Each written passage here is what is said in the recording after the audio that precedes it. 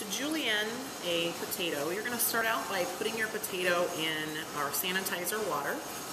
And for our quaternary sanitizer, the contact time is one minute. So you need to leave your potato in the sanitizer water for one minute so that it kills the bacteria on the outside of the potato. Once you've done that, you're going to start out by squaring up your potato. And basically you're just going to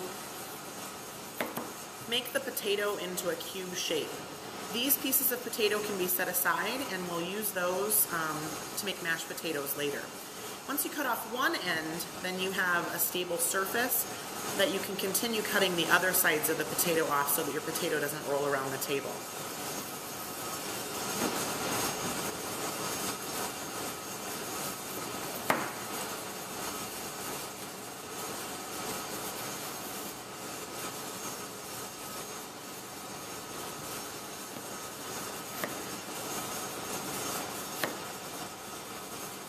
Notice how I'm holding my knife. I like to choke up on my knife. I put my thumb on the blade of the knife and my finger on the other side on the blade of the knife. That way you tend to have a little bit more power.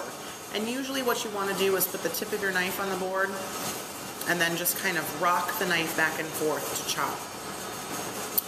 So we're going to start out with julienne. Julienne is 1 8 of an inch by 1 8 of an inch by 2 and a half inches. We're going to start out by taking planks off of this piece of squared up potato. You're going to want to cut 1 8 of an inch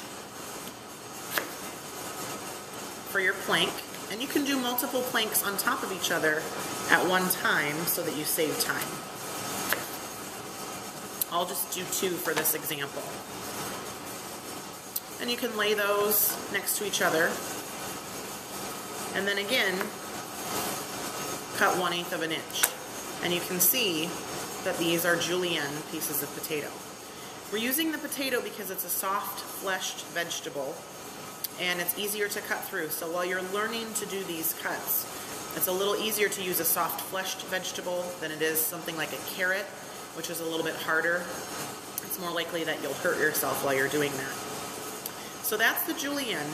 The next one is the medium dice that everybody will be expected to do. Medium dice basically is one half of an inch, one half by one half of an inch by one half of an inch. So you're going to cut a cube. That's about a half of an inch wide. And then you're going to cut again in the other direction about a half of an inch wide. And you can see you're going to be left with pieces about like that.